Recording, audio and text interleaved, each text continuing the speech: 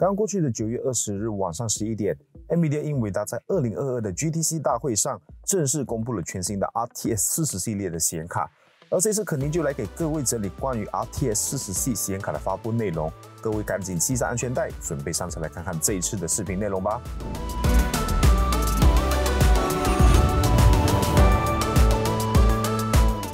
其实今天的 NVIDIA GTC 大会，除了 RTX 四十系列显卡以外，也公布了 NVIDIA AI 以及 NVIDIA Omniverse 的相关资讯。不过，由于整个 GTC 大会的视频长达一小时三十七分钟，因此这一次我只把重点放在 RTX 四十系的显卡上，以及对于这次新发布的显卡给出我的观点。看完影片的你，如果觉得有用，也别忘了订阅支持我的频道。这一次的 RTX 四十系核心代号为 Adler Lens。AMD 称之为第三代 RTX 核心，采用了 TSMC 台积电四纳米工艺。对，RTX 四十系是直接从三星八纳米直接跃进到台积电四纳米。单从制程工艺上的提升就能够感知得到，这一次 RTX 四十系会有非常大的性能提升了。核心规模拥有七百六十一个晶体管数量，以及超过一万八千个库的核心，比起上一代 Ampere 核心多出了百分之七十。另外，全新的串流多处理器也具有九十兆次的浮点运算性能，比起上一代也多出了两倍。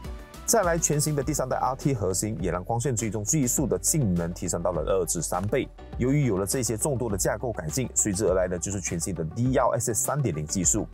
除了拥有之前 DLSS 的放大超采样技术以外，DLSS 三点零还能够在同分辨率下，通过全新的光流加速器以及游戏引擎动向量，实现了最高达四倍的游戏性能提升。呃，白话一点来说，就是 DLSS 三点零能够在不进行 AI 超采样画面技术下，保留原始分辨率的画质。同时能够提升最多四倍的帧数。如果真能做到这一点，那么这技术确实比隔壁的 SESS 和 FSR 二点一好太多太多了。但是这边要和各位说个但是，DLSS 三点零与过去的 DLSS 版本一样，都是需要游戏开发商与 M E D 进行深度的优化配合才能提供支援。而且这一次的 DLSS 三点零是只有 RTX 四十系独占的功能。而过去的 RTX 二十和 RTX 三十都是无法使用 DLSS 三点零的，果然是皮刀客老黄，不得不佩服你的刀法。而在 GDC 大会也试出了 DLSS 三点零在赛博朋克二零七七上的表现，在开启光追并关闭 DLSS 功能时的帧数为二十三帧左右，而打开了 DLSS 三点零则能够一跃到九十六帧左右，提升了足足四倍。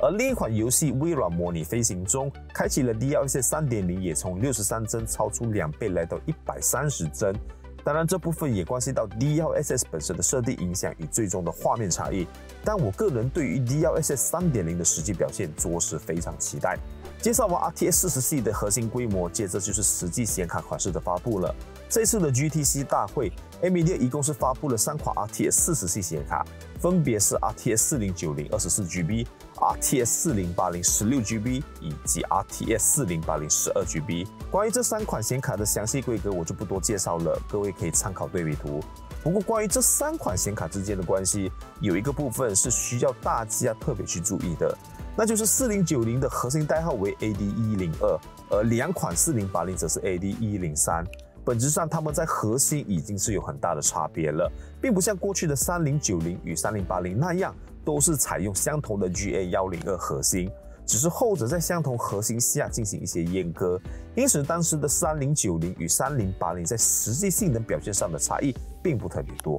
而这一次四零九零与四零八零直接是采用了完全不同的核心规模，这三款之间的性能对比比较像是过去的三零八零对比三零七零 Ti 和三零七零那样的存在。因此，大家并不能够用过去的九零对比八零那样的价值套在这一次四零九零与四零八零身上了。当然，GTC 大会所没试出的性能对比，也正是我所说的观点。在传统的官商化游戏中的对比，四零九零的性能基本是三零九零 Ti 的一点七倍左右，而两款四零八零明显就弱了不少。四零八零十二 GB 甚至还不如三零九零 Ti，唯独在一些新一代的游戏，四零八零和四零九零的差距才会被缩小。而最后，在日后能够支持 DLSS 三点零的游戏中，三零九零的性能就已经是没法和这三款显卡做对比了。此外，我相信各位都非常关心这三款显卡的功耗状况啊，毕竟在 GTC 大会上并没有提到这三款显卡的功耗。但是我还是在 AMD 的官网上找到相关的功耗参考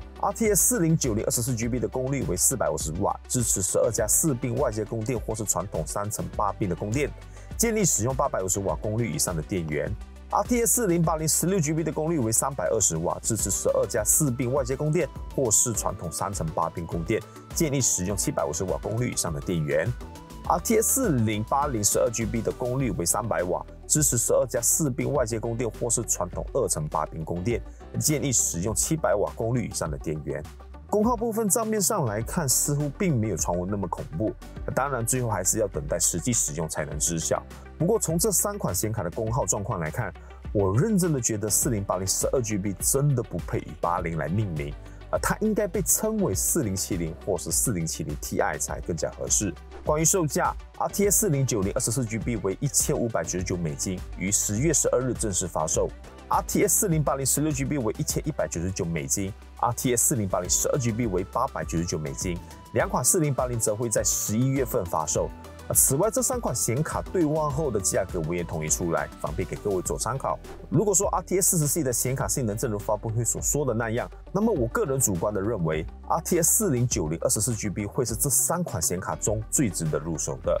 呃，主要的原因是它的性能提升真的太大了。特别是对比 RTX 四零八零十二 GB，性能近乎翻倍的同时，价格却并没有翻倍，有点当时 AMD Ryzen 九五九零零 S 那个味。性能足够高，但价格还算合理的存在。呃，当然有值得入手的，也有最不值得的，那就是四零八零十二 GB。我，除非是自己游玩的游戏大部分都支持 DLSS 三点零，或是这张显卡开卖的时候价格会有所调整，否则就以这个售价来看。我还是更加倾向于目前的三十系显卡，